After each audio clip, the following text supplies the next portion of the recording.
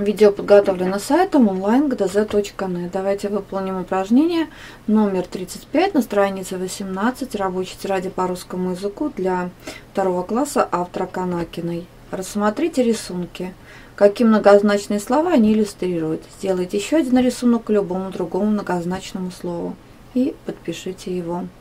На первом рисунке у нас нарисованы ручки. Дверная ручка и та ручка, которой мы пишем обведем это слово.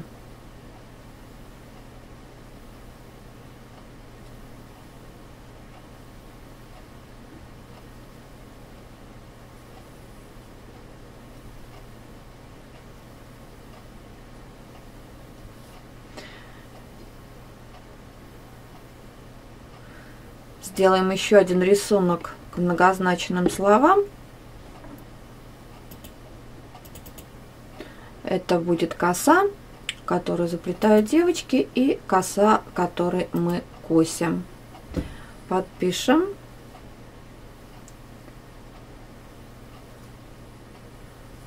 Ко. Са. Точка. Ну и на следующем рисунке молния, которая сверкает в небе, и молния, которой мы застегиваем куртку, например. Мол не я. Подпишите каждый рисунок, составьте предложение по любому рисунку. В небе сверкала молния.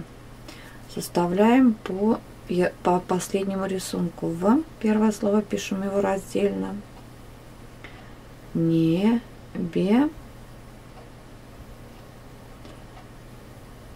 сверка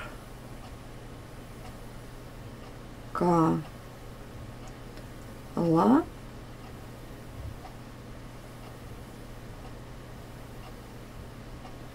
мол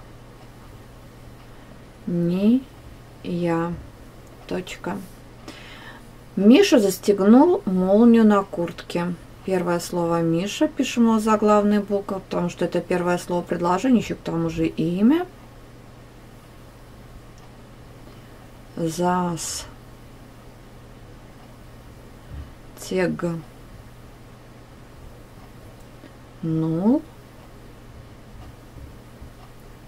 мол не ю на раздельно кур